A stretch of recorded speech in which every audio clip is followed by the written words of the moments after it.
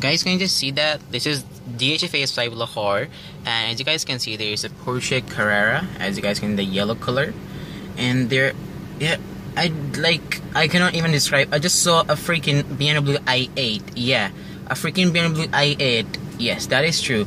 As you guys can see there's a Porsche Carrera 4 right there GT as you guys can see Gloria Jean's right here phase 5 and I legitimately just saw a freaking BMW i8 and it just passed by me and I forgot to vlog. I did, I was just picking up the camera and it's like, whew, like gone away.